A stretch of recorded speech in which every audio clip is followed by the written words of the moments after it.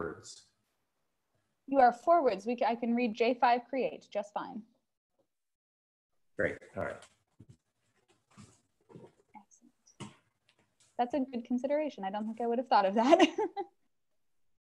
Alrighty. Okay, so we are live.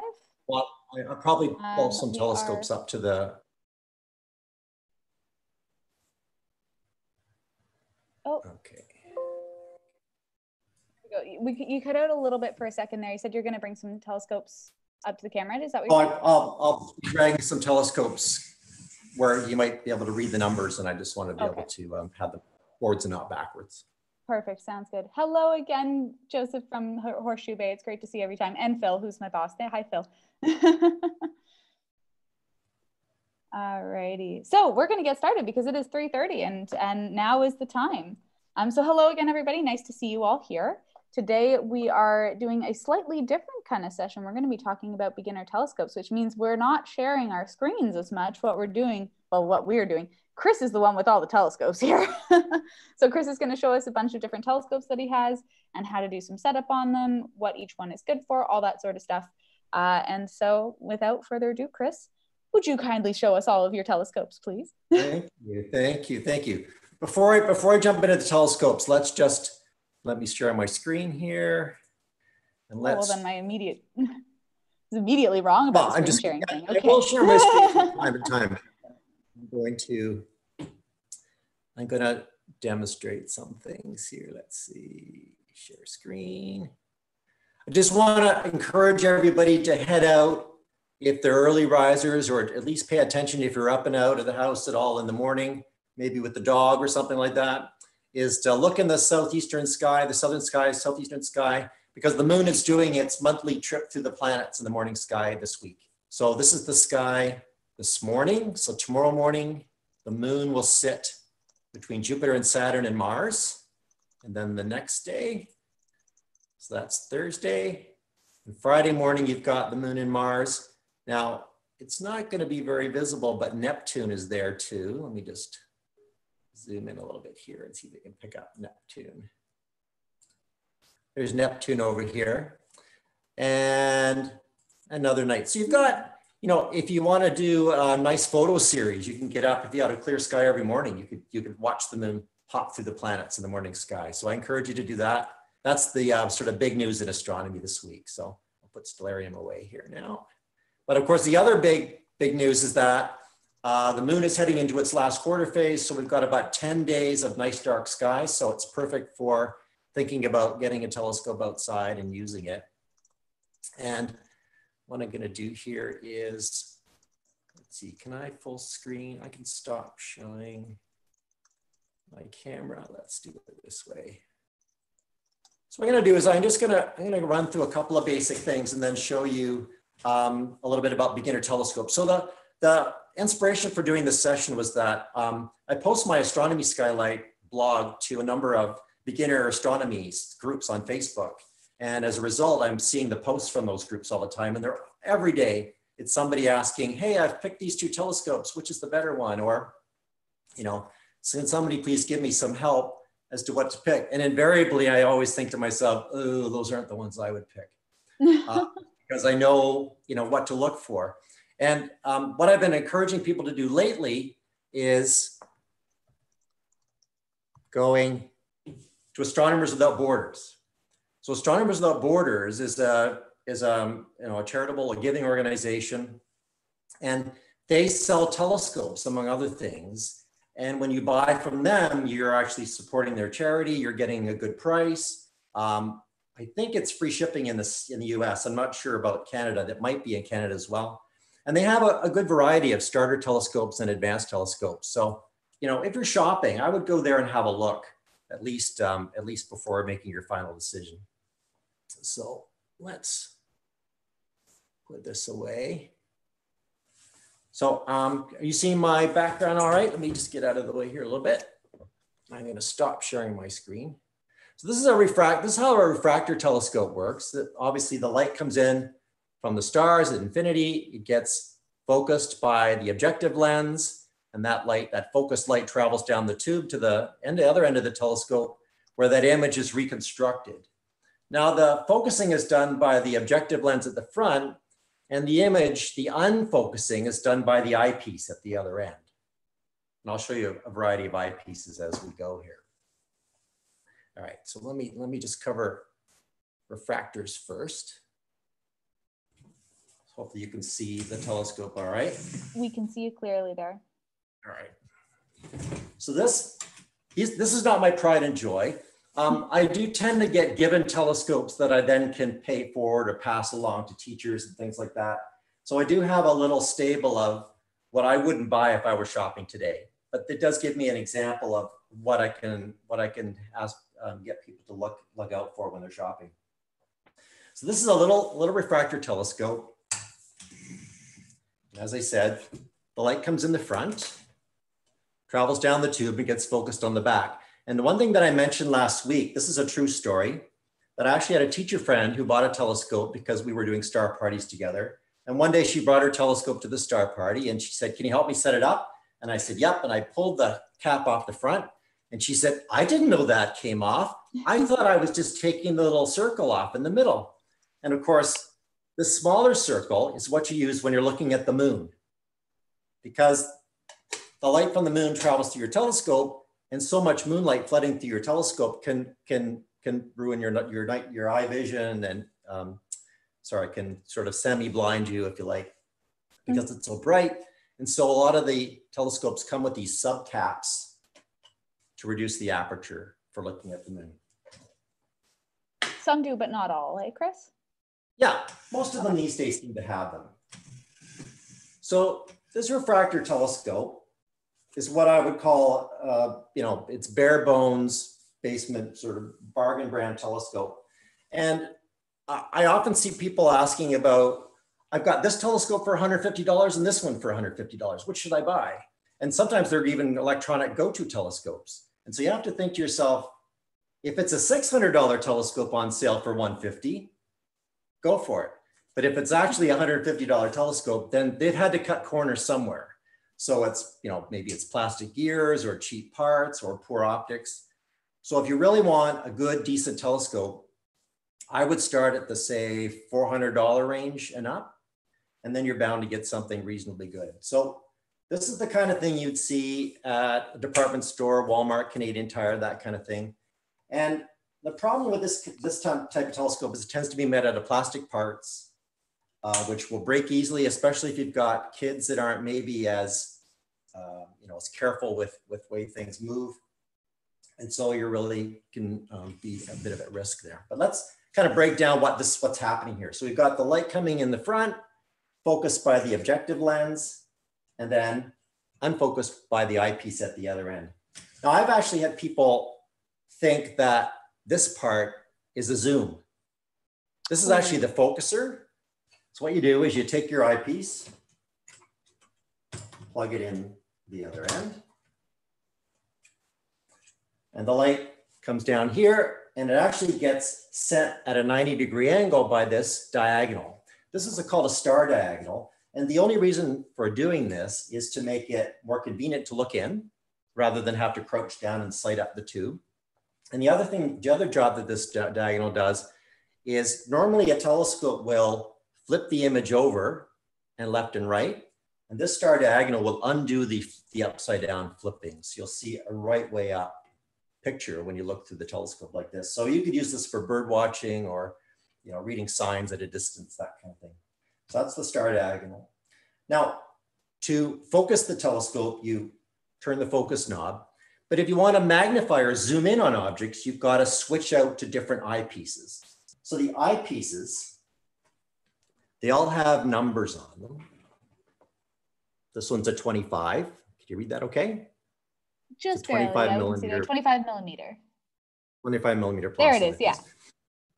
So the length it takes for the telescope to focus the light is called the focal length of the telescope. And normally that's printed on the side. I think you can see that. There's a little plaque on the side that says the focal length of the telescope. In this case, it says the focal length is 700 millimeters or 70 centimeters. And that's roughly the length of the eye, or length of the tube. This number on the eyepiece is also the focal length. That's the length that the uh, eyepiece does to un, unfocus and bring it into, a, into an image that your eye can see.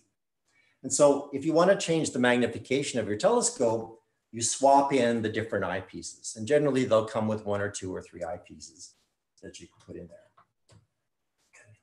Now you may be addressing now, this, but I've just I've just learned a small amount about eyepieces. And what I've learned is that let's say you have a 25 millimeter eyepiece, I would have expected the numbers as the numbers got bigger, the image got bigger, but that is not the case with eyepieces, right? Correct. So it's it's it's counterintuitive. And I'll give you the math, I'll give you the formula in a second here. Okay. First, I just I want to talk for a second about, about focal ratio. So there's a, there's the telescope will always have the focal length on it written down. It'll always have its diameter. So that's the, the width of the lens. And in this case, this little telescope is 70 millimeters in diameter and 700 millimeters focal length. And when you ratio those two, you get 10. So 700 over 70 is 10. And so the, that's usually expressed on the telescope as an F slash the number. So if you pick, if you're shopping for a telescope and you see a number like F10 or F12, that's going to indicate that it's a narrow tube and it's, it's long in length. But the important part is that the focal ratio gives you a sense of how much sky you can see, right? So if you do this mental experiment, don't everybody run and do this right now, but if you take a, if you take a wrapping, a Christmas holiday paper wrapping tube and look at the sky through it, you're going to see a little patch of sky through it. Then if you take the same diameter tube, but say from a roll of toilet paper, do the same experiment, you're actually going to see a lot more sky. The telescopes work the same way. So the telescopes that have high F numbers, they see a narrow, small patch of sky. And the ones that have a big F number, a, larger F number, uh, sorry, a smaller F number, like six or seven or even five, they're seeing more sky. And so if you're, if you double the width of that circle of sky you're looking at, you're looking at four times the amount of sky. And so you've got, you're increasing your odds of seeing an object by a factor of four. So if you're trying to see an object and search for it with your telescope, it's easier to do if you have a stubby low F number telescope. So you wanna keep your eye on that number when you're shopping. The other is the, the aperture. So the more, the larger the objective lens, the more light can get in the front of the telescope. And so the bigger the aperture, the more dim objects that you're able to see with that telescope. And so you can see I've got a variety here and I'll, I'll get into the reflector in a little bit. But this, this telescope has only a 70 millimeter um, aperture. And that would be the minimum that you probably want to look at. Most people look at, say, an 80 millimeter or more, 80, 100 or, or more, something like that. So that's the focal ratio, and that's a little bit about aperture. Now, the way you calculate your magnification is you take the focal length of the telescope and just divide it by the focal length of the eyepiece. So if I have a, if I have a 10 millimeter eyepiece, then the power that I'm using when I put that 10 millimeter eyepiece in is 700 divided by 10 or 70 power. So you don't want to shop for a telescope that um, advertises that many hundreds and hundreds of power because typically when you're looking at the moon or stars or a planet, you're probably going to be using only 70 times, 100 times, maybe 200 times. And the higher powers are really only uh, useful when the seeing conditions are good, when the air is steady and not too, not too much distortion. Because as soon as the air gets unstable, you'll be, as soon as you try to magnify an object very much, it'll start becoming blurry. So don't be uh, misled by these wild claims of how many power the telescope works. You, you really only need, you know, uh, 100, 200 power max anyway. And there's actually a rule of thumb with telescopes. The use, the sort of highest useful magnification that you'll want to work with is about 50 times the diameter in inches.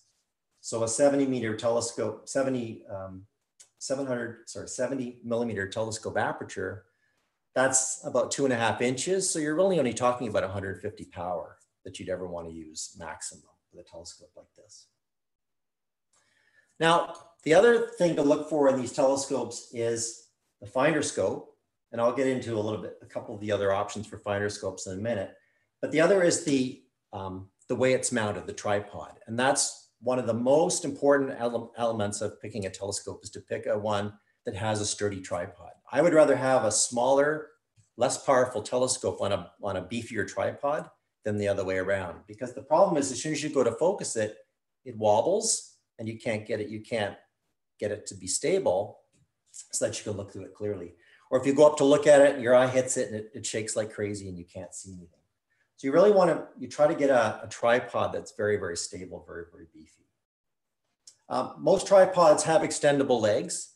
And a lot of people think, well, they want to make the telescope look really big and, and important. So they, they extend the tripod and make it the telescope really high. But actually the telescope's more stable when the legs are short. Now, if you've got a stool or something, you don't mind having the telescope near to the ground like I do right now, that's fine. But if you are, you know, if you are using it when you're standing, just try to lengthen the legs the minimum you can get away with to make it comfortable to use it.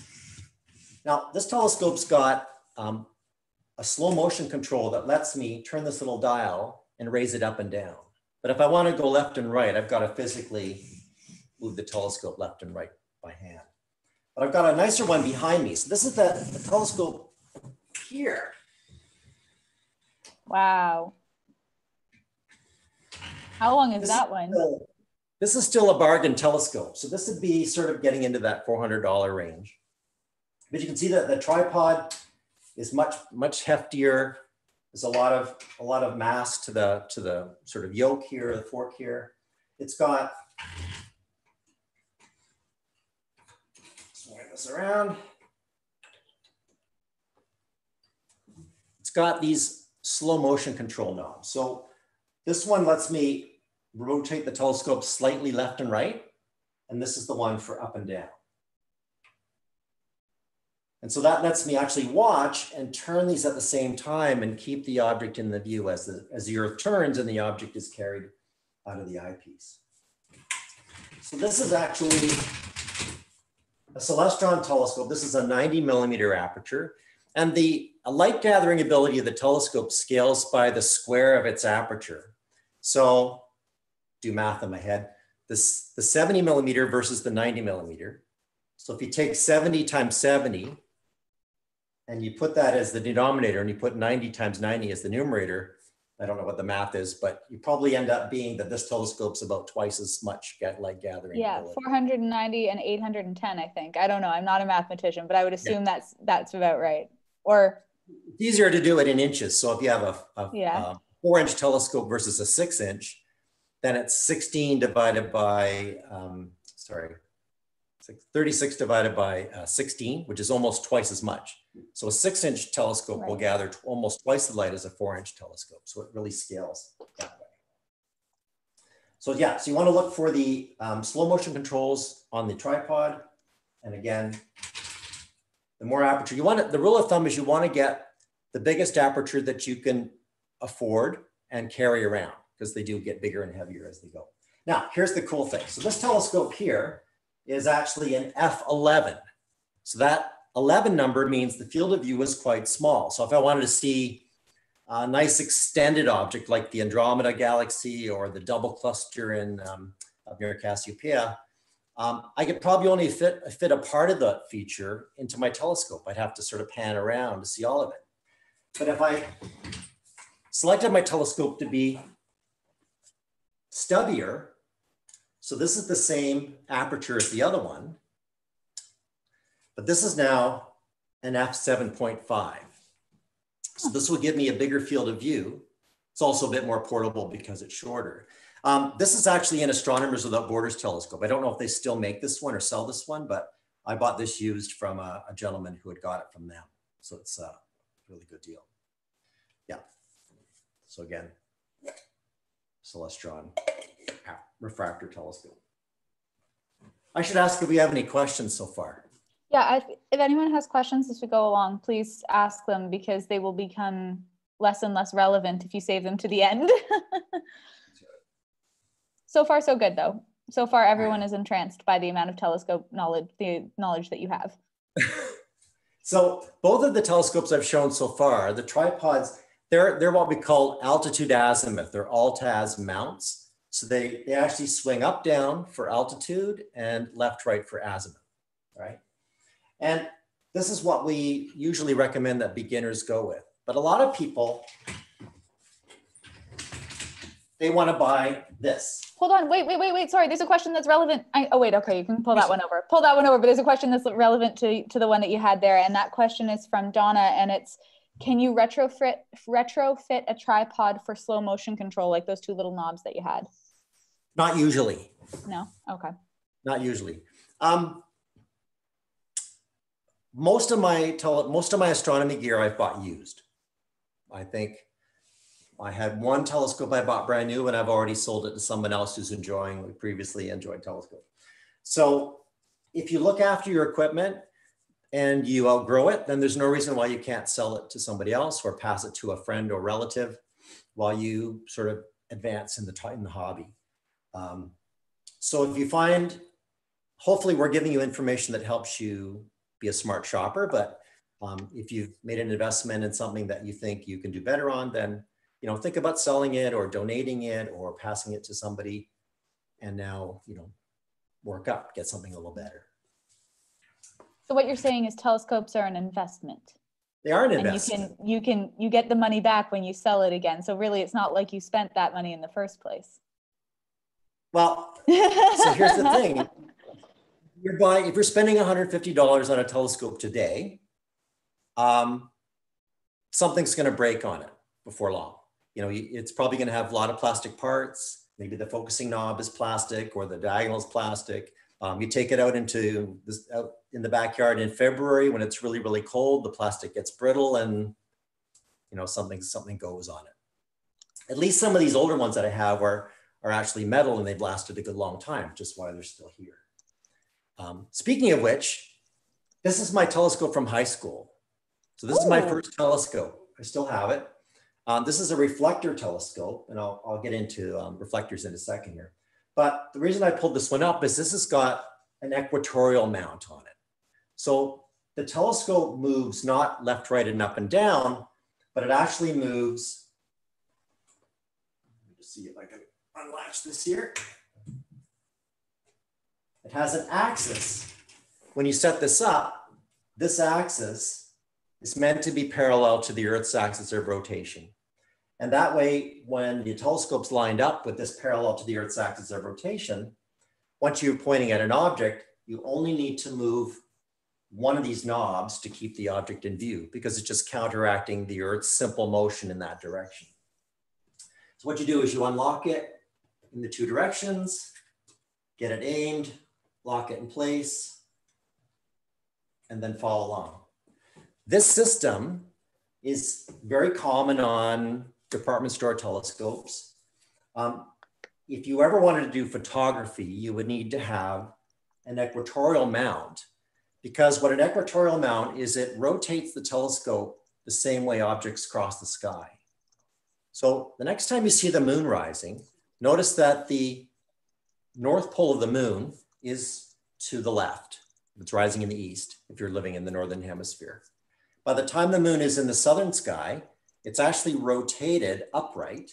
And then when it sets in the west, it's rotated further so that the North Pole is now on the right instead of on the left. And so if you wanted to take a long exposure photograph, not of the moon because it's so bright, but something dimmer, everything in the sky works the same way. The long exposure photograph would see the object rotate in that long exposure. So mounts like this, as they track the object, they rotate the camera and the telescope with the object. And so you don't get that rotating effect. So if you do plan to do astrophotography down the road,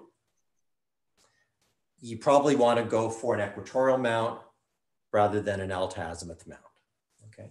But most, most beginners think they want to do visual plus, plus photography right away. And so it's a bit of a, it's a bit of a, a problem because these are a lot harder to use. So to set this up to make it work properly, you've got to tilt, this axis has to be tilted to your latitude on the earth. It has to be set correctly. Um, then you've got to balance, use uh, the, this counterweight here acts to balance the telescope and the eyepieces to the, to the counterweight. And so it can be really tricky. Now, I've seen a lot of people just simply set this to horizontal and just pretend it's alt azimuth. and you could do it that way, um, but it's not really the way it's designed to be used. It's meant to be it's meant to be aligned. Essentially, if you if you zero up this axis and zero up this axis, then the telescope should be pointing at Polaris, basically. Polaris so is, is that is that how you would align it then? Yeah, if you're just doing visual, that's generally good enough. You want to sort of level the tripod, um, make sure all the axes are sort of straight up and down and aligned to the sky. And then you just sort of turn the tripod. Actually, there's a little switch here that lets you rotate to put up to put Polaris in your view. And that generally will then let you, once this, once you've got this part aligned, you can unlock the telescope and aim it somewhere else. Say like that. So now if I'm looking at say Arcturus or some star or some object, then I can just follow along by turning one knob only. right, okay. So you can move the entire telescope, but once the mount is aligned, it just follows the Earth's rotation. That's right. So okay. you want to make sure. The other thing is that when you're using a mount like this, you got to make sure nobody kicks the tripod because as soon as ah. you kick the ah. tripod, you're out of alignment with, with Polaris and you kind of kind of start all over again. So that hopefully Tom Tom Campbell had the question about lining it up with the Earth's rotation. So hopefully that answers that question. And a quick tip: if you have red glow sticks, you can stick them on the bottom ends of your telescope tripod, and hopefully people won't kick them at events. red lights that I use at star parties. Uh, perfect. So while I'm here, let's just take a look at this telescope.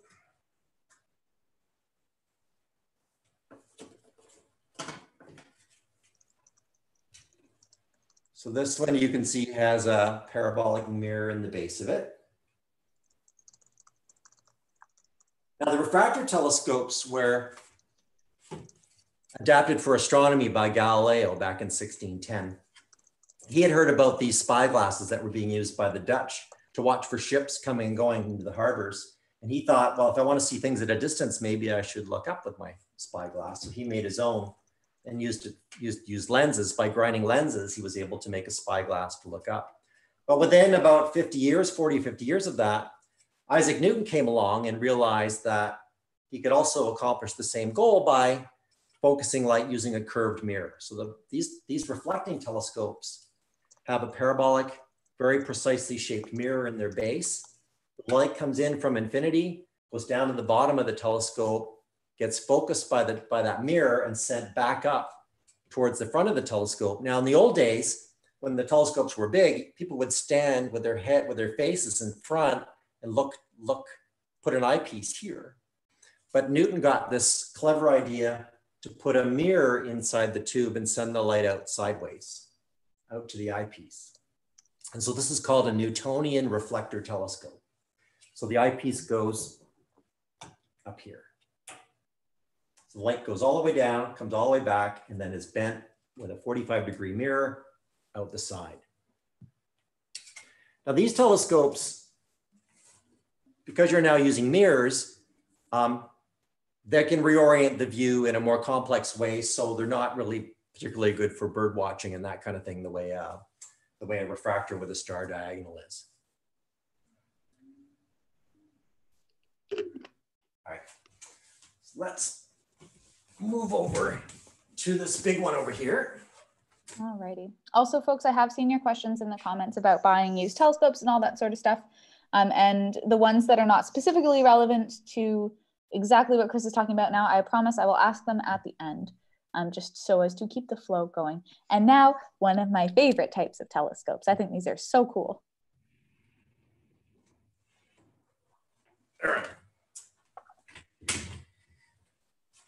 So this is called, just my. This is a Newtonian reflector telescope. Again, you've got your little sub. When you look at it, when you look at the moon in this telescope, there's so much more aperture that you're gathering so much more light that the moon will definitely blind your one eye temporarily. It's say if it's a full moon, if you look at it through this, um, this telescope. So one thing you can do is you can just let only that amount of moonlight into the telescope to make it dimmer. Now, the increased aperture of a telescope actually buys you more light, but it also buys you more resolution. So you can actually see um, more detail in objects if you have a larger aperture telescope. And so you could, in fact, say, look at the moon. Oh, that's a fake one. Hmm. Take this off. So it's the same principle. Light goes down the tube, gets, gets bounced back to the front and then redirected out the side. Um, this part, this um, secondary mirror, as it's called, um, sends the light out the side to where the focuser is and to where the eyepiece is. Now, the mounting of this telescope is what's called a Dobsonian mount. And it's named after a gentleman named John Dobson who just died a few years ago. And he was a bit of an um, astronomy outreach evangelist. He would, um, he was, he was actually, I think he was a Jesuit, but he traveled the state parks in the United States and he would, he would make these telescopes. He would construct these bases. I don't know if you can see the base very clearly here. So the principle of this is that it's got a swivel base that swivels it left and right. So it's altitude azimuth, just like the first one I showed you. So plywood or more advanced things, he would make a base for the telescope to sit in. And, um, and it's very simple and easy to use. And what's great about these telescopes is once you point them, you just basically nudge them along to follow the object and just tilt them around. And the reflector telescopes in this one, it's a F6. So 1200 divided by 600, 1200 divided by 200. So it's an F6. So that means it's that toilet paper tube, that, that, that wider field of view. So these Dobsonian telescopes are fantastic for beginners because they show such a large patch of sky that it's easy to find the object. They gather so much light that you can see nebulas and galaxies in them that you that you would have trouble seeing in the, the skinny reflector uh, refractor type telescopes. Um, the downside is that they take up a lot of room. so if you don't have a significant other that that minds this sitting in your your your family room or something like that, um, you might buy something smaller. Now, if we do a future session where we get into more advanced telescopes, I'll, um, I'll actually bring in my, my primary telescope, which is a 12 inch collapsible Dobsonian, which is, um, thankfully it comes apart and it sort of stores up a little bit neatly. The other solution here, Chris, is just to find a significant other who also likes astronomy. So when you're shopping for a telescope, you also shop for this. yeah, yeah. Um, so this brings up an interesting point. Um, this, and by the way, um, you know, a telescope like this, if I undo these knobs, the telescope tube detaches from the base. So this can ride in the back seat, this can ride in the trunk or maybe the passenger seat. So you can actually, you can actually um, put fairly big Dobsonian telescopes in your car and drive it to the conservation area or the cottage or something like that if you need to. So you know, we, we recommend that um, if you're serious about astronomy, you want to kind of invest in the better telescope as early in the process as you can, because um, astronomers tend to suffer from something called aperture fever, where um, they bought the little skinny telescope, the, the 90 millimeter, the 80 millimeter, and they realize I can't see in galaxies, I can't see nebulas very well. I really need a bigger telescope. So if, if one way of avoiding that is to just jump right in with both feet and buy the bigger one to start with. Um, these Dobsonian telescopes, this sort of style is very common. There are several different manufacturers. This is Skywatcher.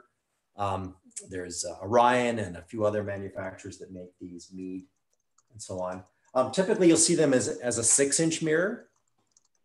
And as I alluded to earlier, so you could buy the six inch version of this, or you could buy the eight inch version of this. And the six inch wouldn't be that much smaller than this one, except that eight times eight is 64 divided by 36. That's nearly twice as much light gathering ability in this telescope as the six inch version of it, right? Or if you're, you can even buy four inch versions of these. So um, 64 divided by um, 16, that's a factor of four. So an eight inch telescope versus a four inch telescope, you get a factor four improvement in the um, light gathering ability. Now, the refractor telescopes tend to be assembled and solid units. There's no maintenance. You just need to make sure you know you don't get the uh, the lens dirty and that kind of thing.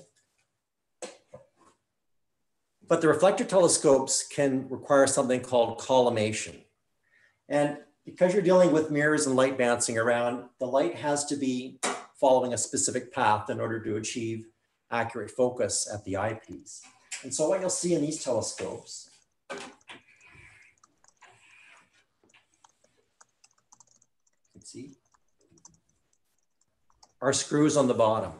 And what's happening is that the big uh, glass mirror that's in the bottom of the telescope sits on a mount and it can actually be reoriented a little bit.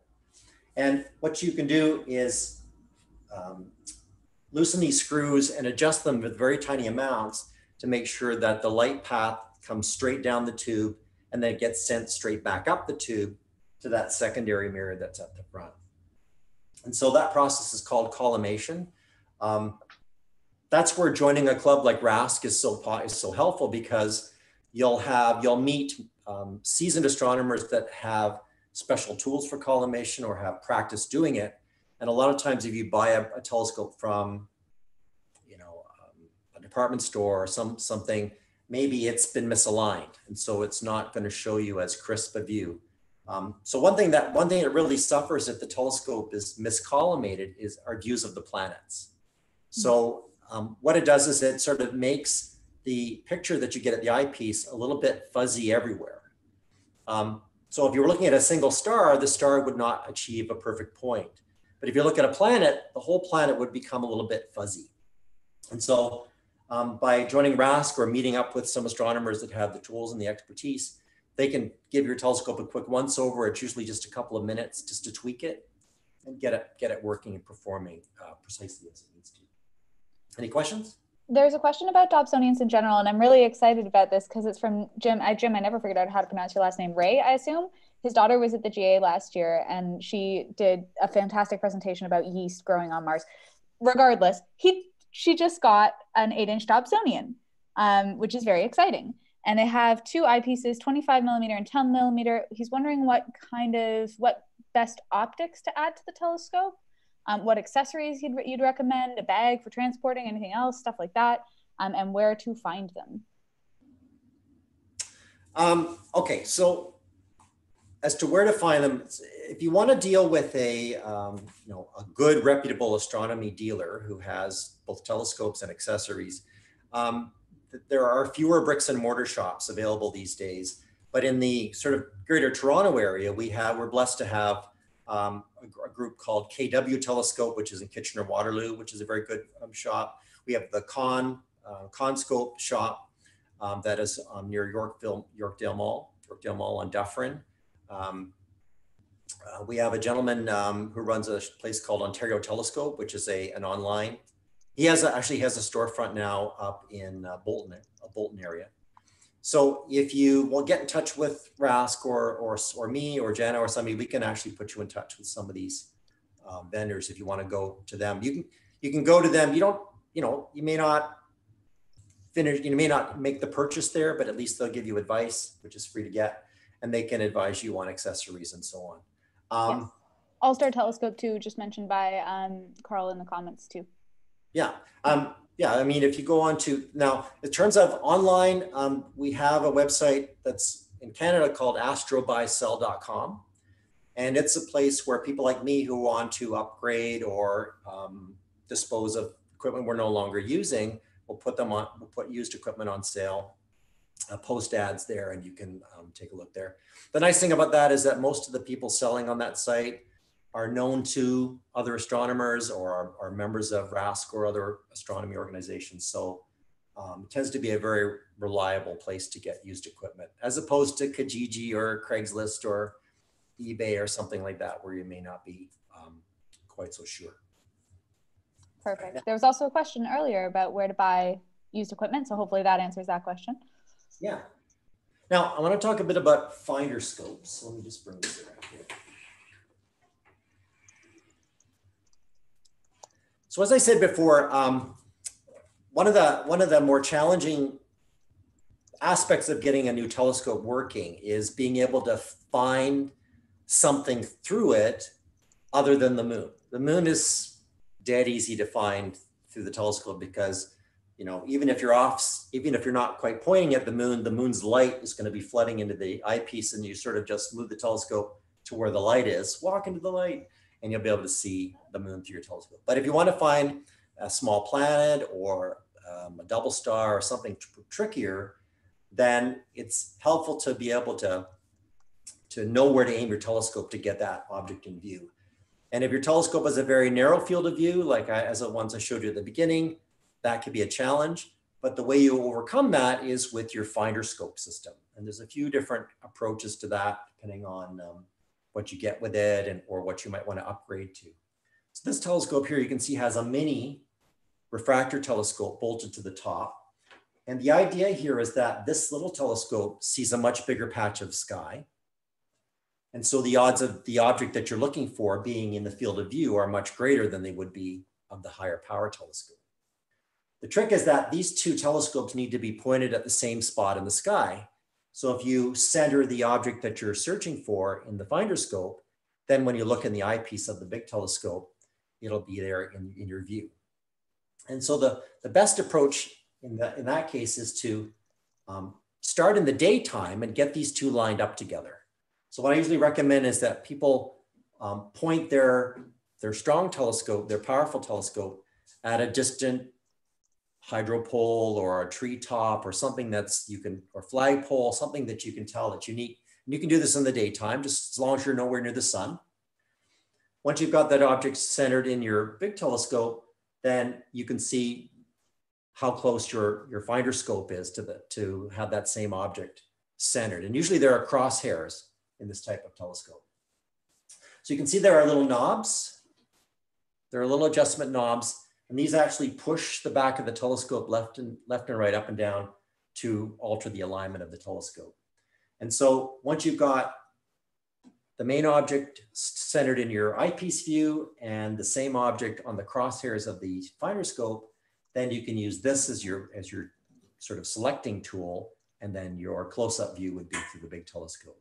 And if you really want to fine tune the process, uh, put a, you know, put a, uh, a low power eyepiece in here. So that's one of your long focal length, big number eyepieces. So you have a less magnification.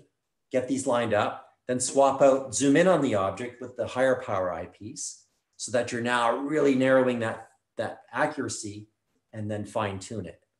And this is something you can do um, if this is never going to get bumped, you can just do it every once in a while, but it's often a good idea when you're going stargazing to send a, spend a few minutes before it's dark, just getting this tested out, making sure that, that these line up together. Because then once it's dark, you can, you can use this finder scope to find the object. Now, so that's one approach. Now, in the cheap telescopes, these little finder scopes can be quite small. Let me just bring one over here.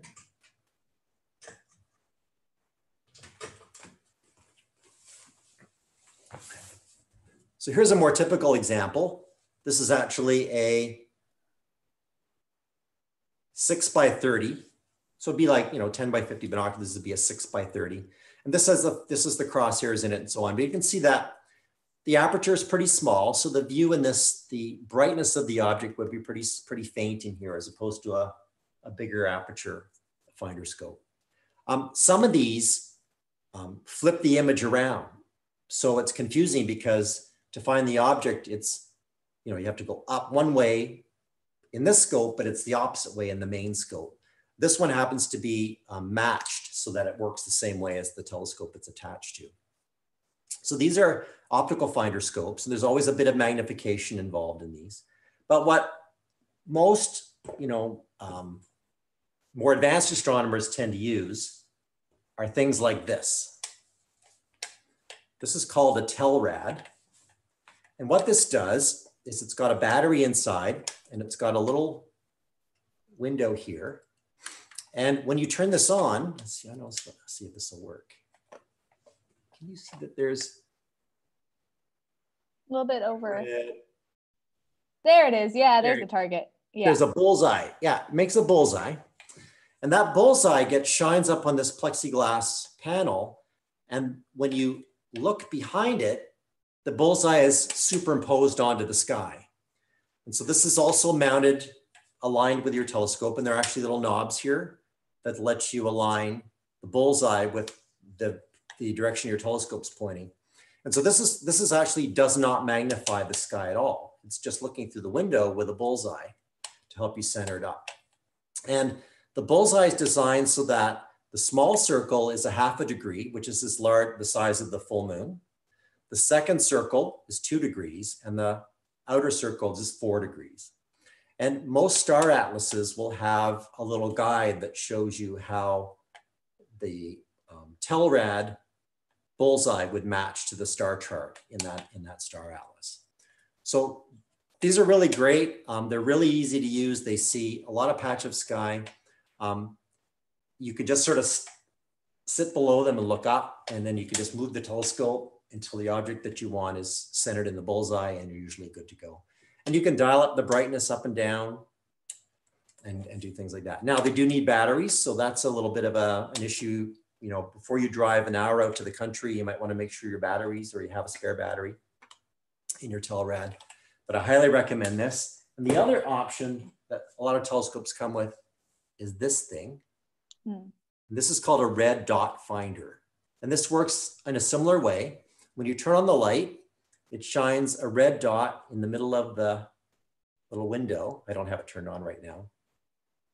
And then you've got adjustments. There's knobs on the side and the back that lets you align the dot with the telescope so you can match to the sky. And again, this uses a battery as well. So you need to make sure you've got a fresh battery or a spare battery if you want as well. So red dot, Telrad, and optical finder. Any other questions before I there's a question that I don't quite understand because I think I'm too much of a beginner. Um, regarding astrophotography from Babak, can I use a regular a regular finder scope of an eight inch Dob as a guide scope with a guide camera? I don't know what a guide camera is. So that's an astrophotography question. That's really um, um, a, a video camera attached to a small secondary telescope that watches the object that you're that you're doing you're creating your astrophoto of and adjusts your tracking of your electronic mount to make sure oh. it's on the target. Um, so the, the answer is probably uh, but most people end up um, getting a dedicated guiding camera or you know a smaller old refractor or something and strapping it piggybacking it onto the big telescope to do that. But you know this is optical we do just a heads up. We do have astrophotography sessions coming up again starting next week. Um, we're doing two back-to-back astrophotography sessions where we're going to go over in detail how to acquire the photos in the first session and then in the second session how to process them. Um, so for those of you who are interested in astrophotography, Paul Owen will be joining us again uh, from New Brunswick. So he'll uh, be going over that next session. Okay, so I want to talk a little bit about um, eyepieces and eyepiece quality and things like that. And then we, we can talk about filters and things like that if there's time at the end. So when you buy a department store telescope, and that applies to my old high school reflector there, um, it came with eyepieces that look like this. These, when you look at an eyepiece, the metal part is called the barrel, and then the eyepiece, the part you look through is, the, is on the top. And this is called um, a 0.96 inch diameter barrel, okay? And it fits in that telescope. It's the only telescope I have that this will fit in, right? But most um, medium and higher grade telescopes these days, they come with, where's my other one? One and a quarter inches. So that barrel is called 1.25.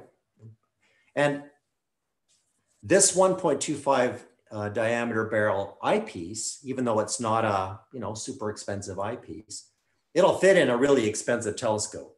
So you don't have to match the eyepiece to the telescope. You can have, you could buy a cheap telescope and you could buy better eyepieces.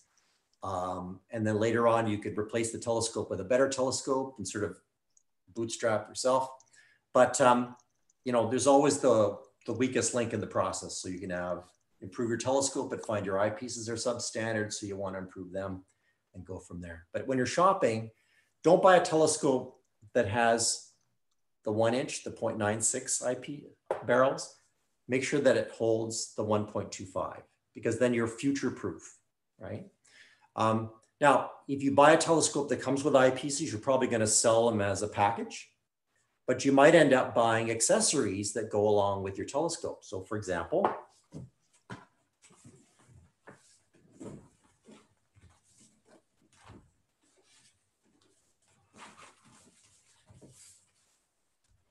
this is a zoom lens.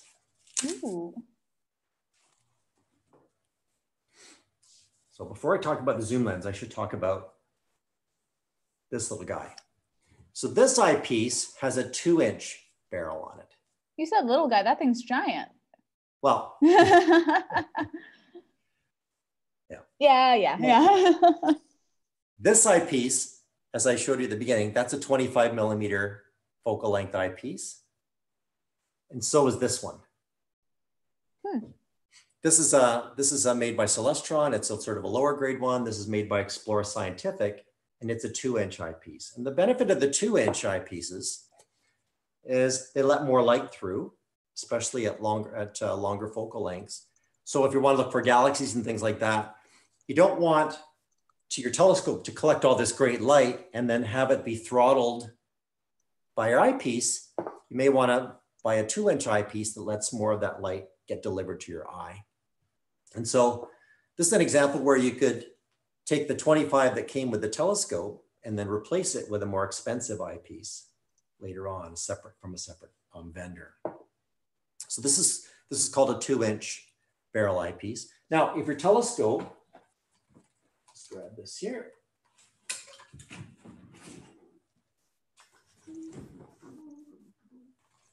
Just grab this piece.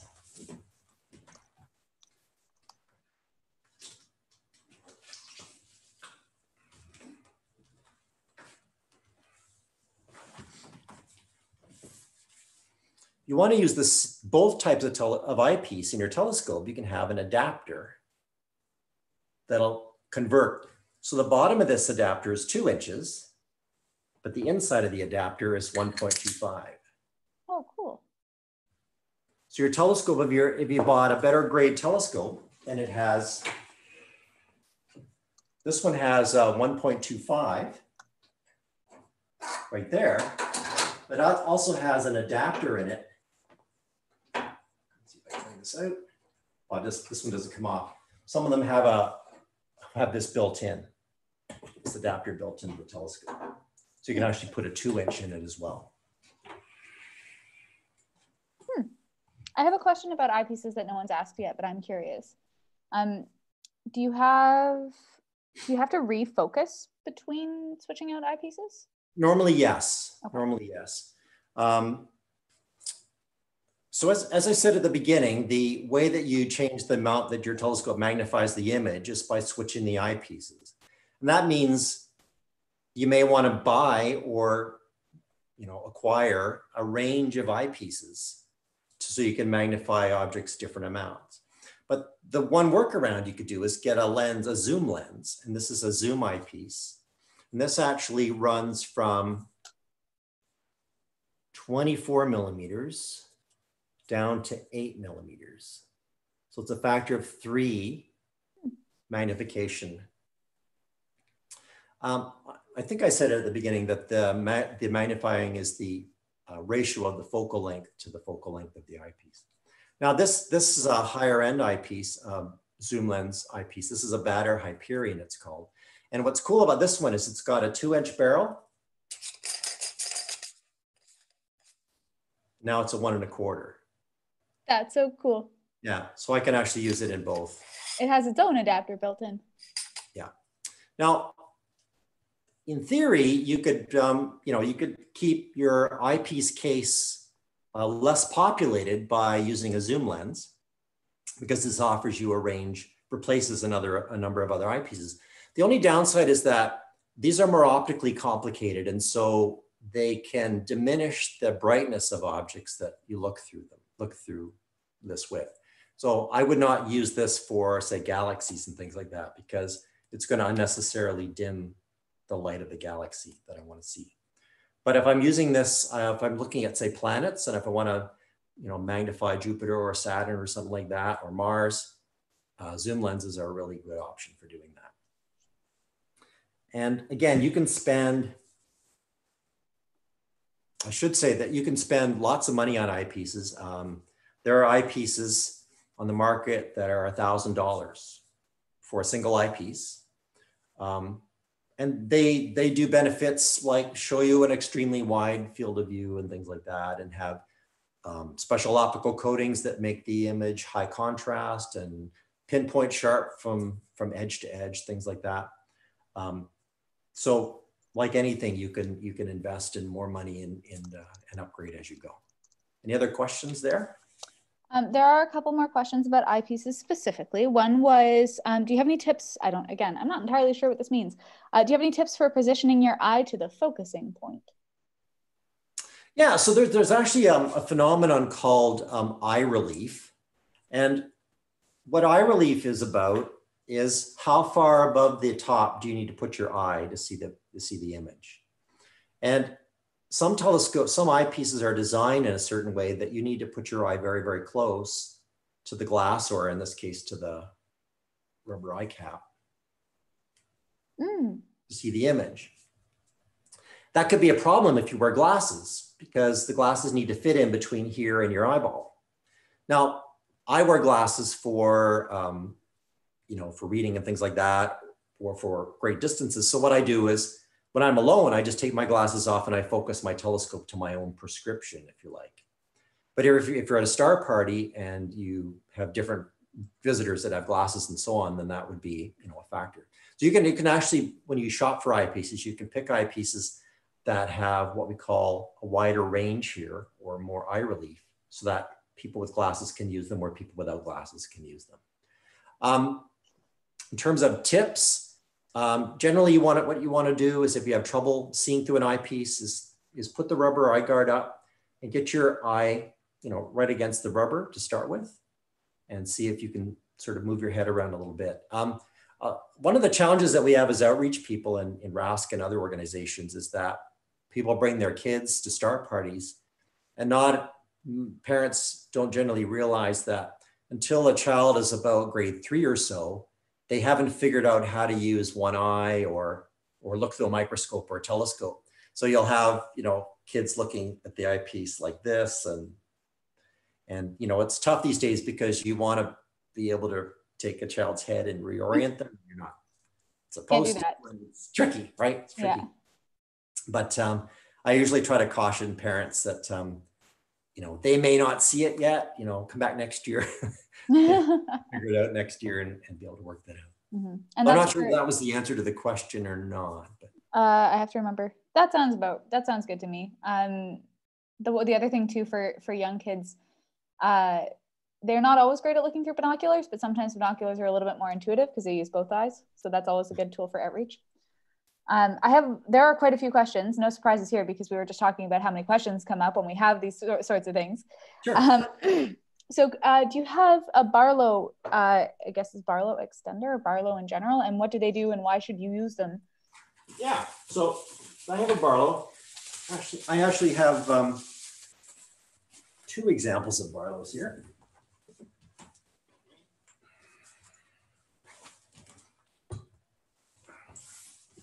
So what the Barlow lens does is it takes the focal length of your telescope and it artificially doubles it. And as we said at the beginning, the way you calculate how many times you're magnifying the object is you divide the focal length of the telescope um, into the focal length of the eyepiece. So 700 um, you know, 700 divided by 70 would give you 10 times, or 700 divided by 10 will give you 70 times, and so on. When you insert a, a Barlow lens first and then the eyepiece, it artificially doubles the length of the focal length of the telescope. So you, you've doubled the magnification of your object. So you could have two eyepieces with your telescope and a Barlow, and you get four magnifications. So you have the one each without the Barlow and then each with the Barlow. right? so, So you've got functionally, three, three pieces of equipment, but four different magnifications. So um, this one from Orion is a two times. Uh, you can get 3x other multiples if you, if you want to do that. Um, this would be maybe 70 or $100, that kind of thing. It's a 1.25. This one here is from, if you recognize this distinctive green colored lettering, Televue. Televue are one of the um, higher end brands of eyepieces. And this is also a Barlow lens, but this one would cost, I bought this one used, so I bought, I got it at a discount, but um, brand new, it might be $500 just for the Barlow lens, right? But if you're spending $1,000 for lenses, which I'm not, by the way, Um, then then this is not so out of whack. Um, this one will have superior glass in it, superior optics. It's something called parfocal, which means if you put Televue eyepieces in it, you don't have to refocus between each eyepiece. okay. So that's a Barlow. Now there's a question about another thing that I don't know about. I'm so glad that I feel very privileged to be able to be here and hearing you talk about all this stuff, Chris. I don't know everything either, but I'll do my best. You're doing great. Um, what is a field flattener? Okay, a field flattener is, all right, so how do we explain this? There's one person in the comments who said that, hold on, it's used for astrophotography to ensure edge to edge performance. Yeah, yeah. The if you actually do the op the trace the optical path of the starlight or the object's light as it passes through the telescope, you you you get you come to understand that the picture of the view thing you're viewing doesn't fall on a flat plane, but it falls on a curved surface. And it's just the way it's just the way things work. So what an opt and so if you took a photograph of that at that point in space, parts of the photograph would be sharp and the parts on the curved sections would be out of focus. So the field flattener does an extra optical trick to flatten that picture, so make it sharp edge to edge. So I see. Okay. Um, You wouldn't need it for any of this visual observing though. Okay. Um, this is a, a, I have no idea about this one. Will the image become dimmer with many eyepieces and Barlows connected together? Yes. Okay. So um, that's a really funny story. I I once I once saw a telescope advertised on Kijiji, and it was it was one that I was in the market for, and I saw that in the in the photo in the ad they had attached everything under the sun that came with that telescope to it. They had the Barlow on and the eyepiece on, and and so they it, you'll see this in ads on Kijiji and, and things like that a lot, where it makes the telescope look bigger and longer. But in practice, you would never use it that way because you would be just adding, you know, uh, dimming light over dimming light over dimming light. So, so yeah. So, what- so the, the short end, the short answer is, if you find yourself using um, a Barlow all the time, then maybe you should consider just buying the right eyepiece to replace that Barlow plus eyepiece combination. Because Right. obviously you're getting more serious and you might be, um, it might be worth investing in that. That's, I guess that's a kind of nice thing about eyepieces too, is that if you invest in good eyepieces, they last between telescopes as long as you have the same, Yeah. Exactly. same attachment. So it's an investment, folks. Um, there have there have been a couple questions that Leon, thank you for answering them, are in the Q and A, and I'll I'll throw them out there, Chris, to you in case you have any extra stuff that you want to add. Um, one is about seeing the surface of Jupiter. Rick has an eight inch reflector. Um, and he was asking how much you'd need to spend to be able to see details or of, on the surface or shadows on Jupiter's moons. Leon said that you should be able to be to do that just fine with an eight inch reflector um, with a six to 10 millimeter eyepiece or so. Yeah. Does that sound about right? exactly Yeah. Okay, perfect. Thank you. And so that's done. And then, okay. Uh, there's a general, sorry, while I interpret this question, I have another question. Where'd you get your shirt? Everyone wants to know where you can order RASC Toronto Center shirts. So this is not just merely a RASC Toronto Center shirt. This is actually a DDO volunteer shirt. Ah. So the, the Toronto Center operates programs at the David Dunlap Observatory, and um, and we're one of several partners that offer astronomy um, uh, programming at the DDO. And Richmond Hill, who own the telescope now, have asked that we be branded when we're doing programs there for our front sort of our public facing aspect. And so um, if you join the Toronto Center, uh, you can join the operating team that works the telescope at the DDO and maybe uh, maybe get to use it, the big telescope. And then you get a shirt. I that Chris, you're gonna see me out there sometime helping you guys out. So uh, first of all, the shirts are amazing, and second of all, that telescope is fantastic. That telescope is so cool. Yeah, yeah. So I'm uh, I'm one of the operators on the operating team there, and um, and I've trained up uh, a number of people sort of two summers ago, and we're getting ready to train a new batch. Um, now, I, I should say before everybody, many, many, many will apply, but it's like the right stuff. Um, it's a 1930 vintage telescope with no safety um, controls on it. In other words, there's nothing preventing you from crashing the telescope into the side of the building. Um, you need to be trained, you need to be, you know, have the right stuff to not crash the telescope. So, it's so big, expensive people, historical telescope. Want to want to operate, but not everybody gets the golden the golden ticket. That makes sense. That's totally fair. I'm happy, but I'm happy to teach you how it works and, and give it a try. You know. Okay. Um, so there's a question about uh, high power binoculars. They're 20 by 80, and usually those numbers mean 20 times magnification and 80 millimeters. Is that what you, is that what that means? Yeah. So the 80 is the aperture, just like the aperture of the of the refractor telescopes. So 80 would be bigger than than my little friend here. This is wow. 70.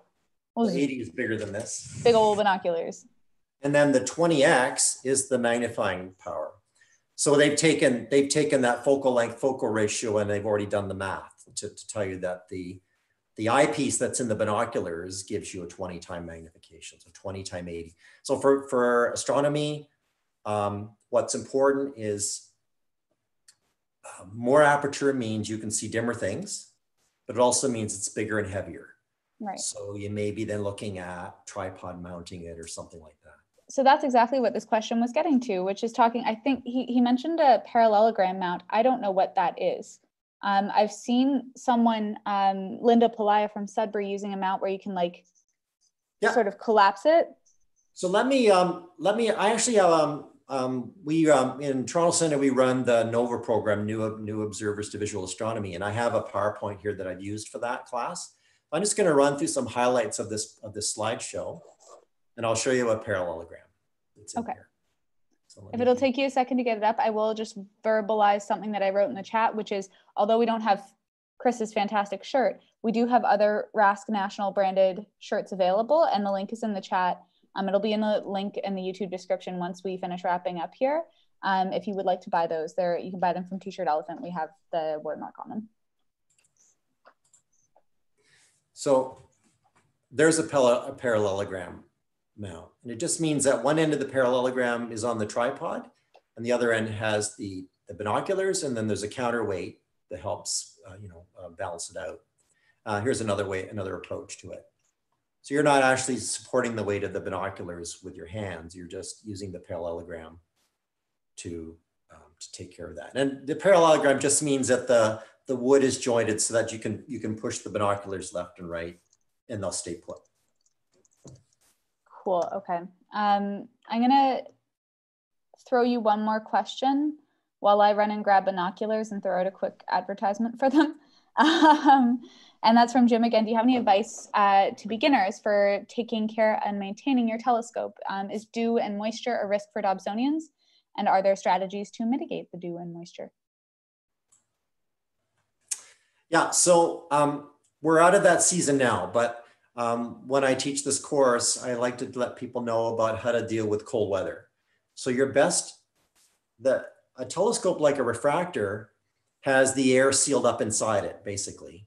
And so um, if you take a warm telescope out into the cold, um, the cold air hitting the telescope tube is going to create eddy currents distur disturbing the air that's the warm air that's inside the telescope tube.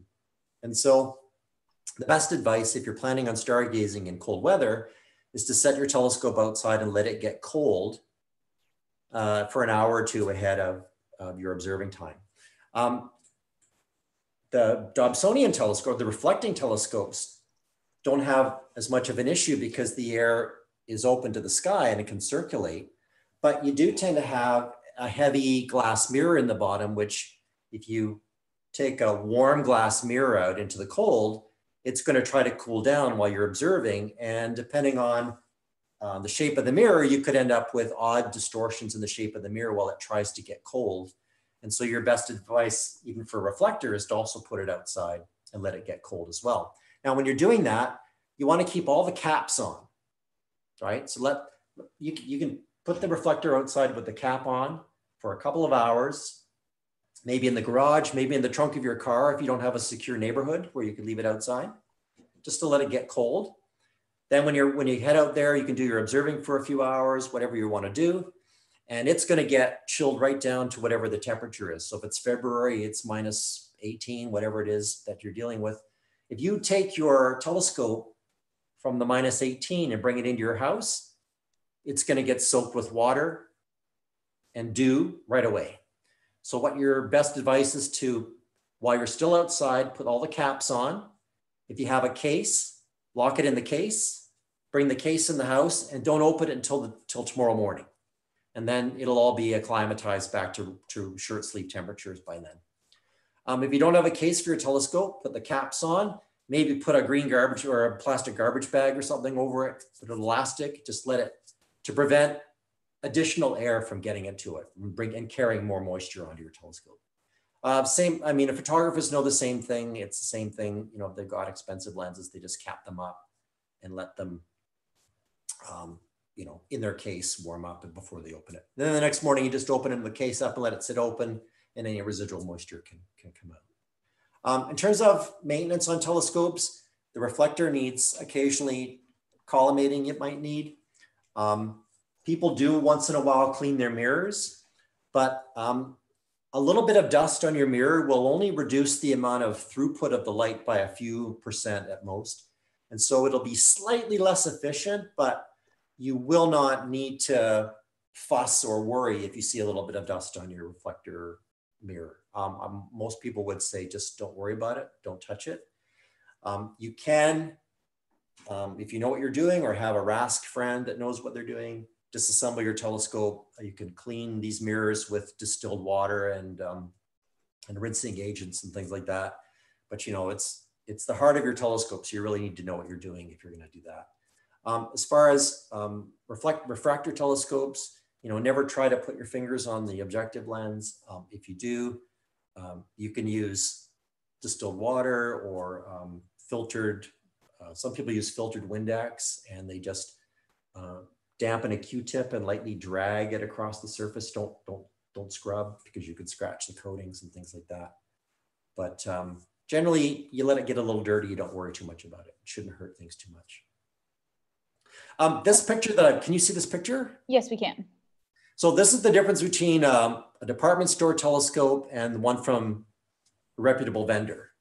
So what happens in, um, in cheap, inexpensive refractor telescopes is that the light gets focused by the objective, but all the different colors get focused different amounts. And so you mm. get fringes of color around bright objects. You can see the moon here as a red top and a blue bottom.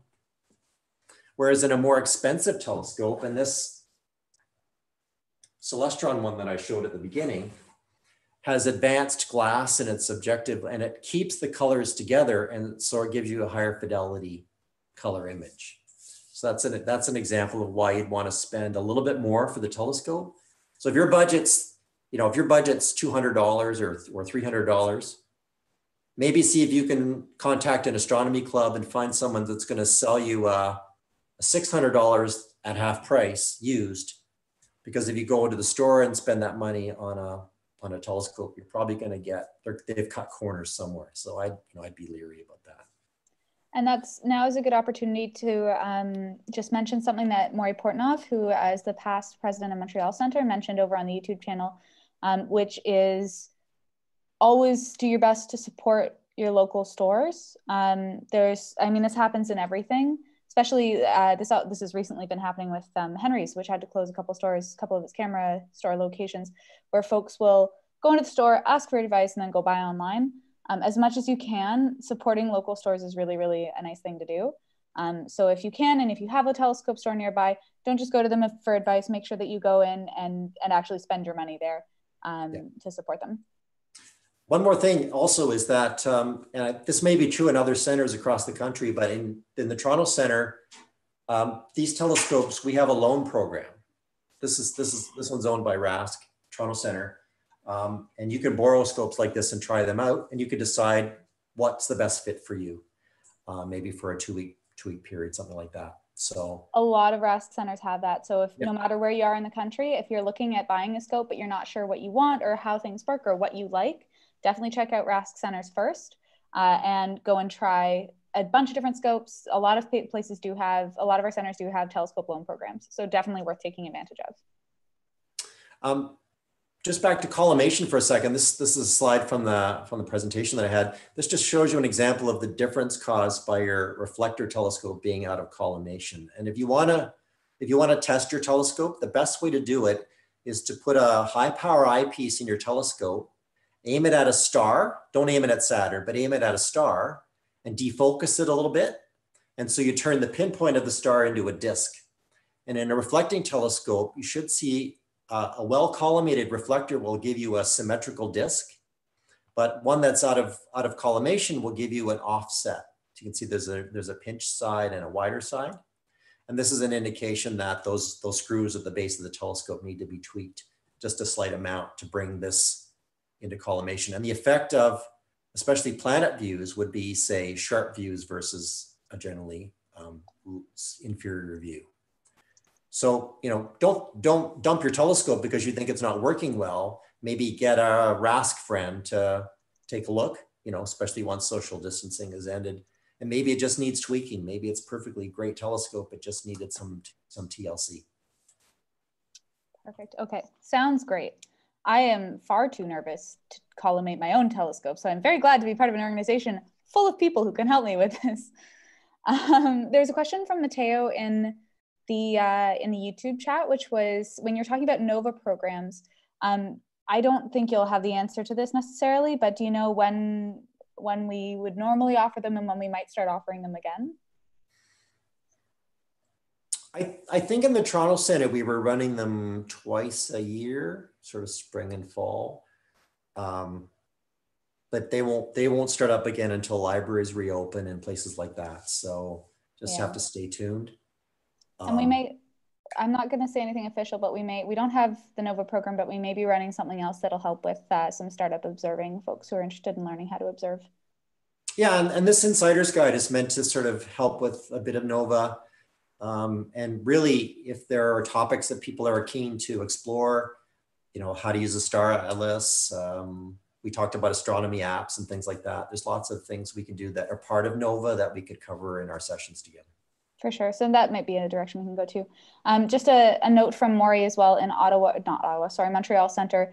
Um, they have a loan program as well. And once COVID is settled down, they will help, they, they will gladly help non-members with telescopes and oftentimes a lot of RASC centers will help non-members uh, regardless so um, if you are interested in in getting help with your telescope especially once this is all done and we can do outreach again um, feel free to just contact me uh, and you can always i'll do my best to hook you up with people who will help you out near your center yeah absolutely I think that, oh, hold on. There's a few little minor, oh, we do have technically, so we end at five o'clock now. Um, I'm so glad everyone's enjoying it so far. We do have a few more minutes, and I wanted to um, mention.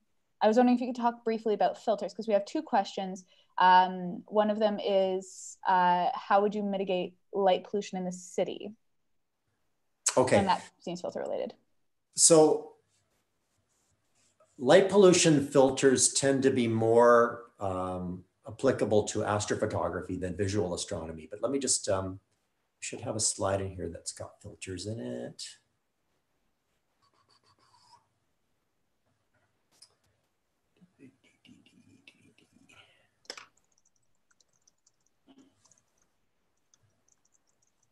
There are 176 slides in this. My goodness. There is actually, while you're sorting through those, there was a question uh, about whether or not you can share that presentation.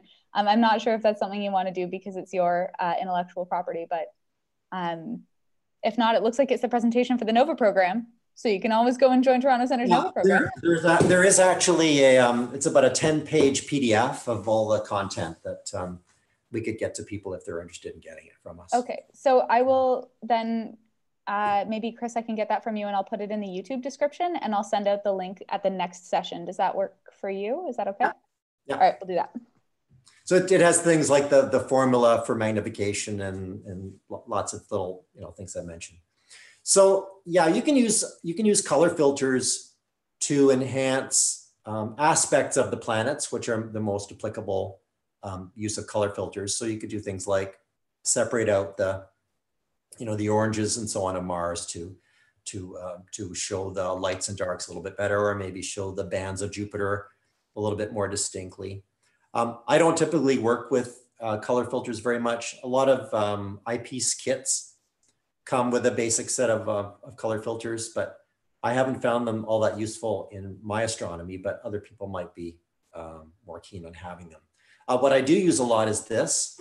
This is a, a neutral density filter. We talked about this, I think, uh, recently, where if you're viewing the moon and you've got a big aperture telescope and you're finding the moon is blinding you, you can attach um, a polarized glass filter to your eyepiece and you can actually dial the amount of um, filtering that it does.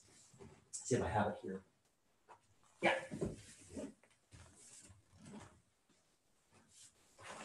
So depending on the phase of the moon, you can make it put all the light through or very little light through. Let's see if I can make this work. I'll stop sharing for a second so you can see it. All right, so is that working? Yeah, there it goes. Yeah. Yeah.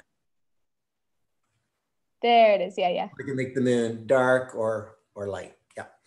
And this just this has threads that screw onto the bottom of the eyepiece. So most of these eyepieces the barrel, when you take the cap off the barrel, it has threads, whoops, that let you screw the threads to the bottom. Now, this is a two inch neutral density, but you can also buy the 1.25 for the other type of eyepieces. So that's very, very handy for the moon. It's also very handy for Jupiter and Venus because they're so bright. Let me just go back to sharing my screen. Uh, where my eyepieces, my filters go. Yeah. Um, here's a list, and this is in the handout that I talked about. Um, the reason, all the various colors that you might use to do different things with the planets. Um, in terms of deep sky objects, so you can get um, most nebulas. We talked in our um, in our deep sky insider's guide session about the types of nebulas. You can have nebulas that are emission nebulas that are glowing with uh, the hydrogen wavelengths, uh, hydrogen color wavelengths. And you can have reflection nebulas, which are scattered starlight.